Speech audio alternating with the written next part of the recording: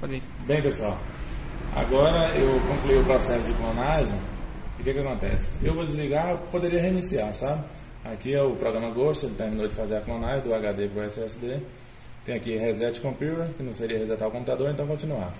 Nesse caso eu vou desligar porque eu vou desconectar o HD, certo? Estou com meu amigo Charles aqui fazendo a filmagem e aí já vai facilitar o processo de trabalhar. Pronto, desliguei, já vou desconectar o disco rígido e vamos ver se a clonagem deu certo. Vou retirar o pendrive, que é o pendrive que eu usei para fazer o processo, o 10 Lite. E aqui tem a maquininha de cartão, viu galera? Estou já pronto aqui já para negociar. Vamos ligar aqui. Vamos ver se deu certo com o Windows 10.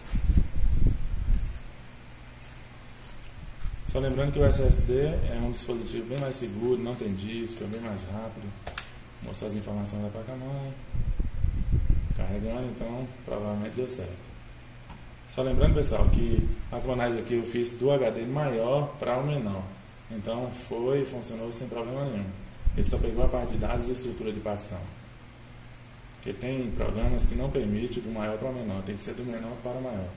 Pronto, entrou no H mais apoio, sinal que está tudo ok.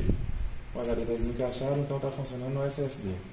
Um abraço a todos, tudo de bom e qualquer coisa também. Júnior, um abraço.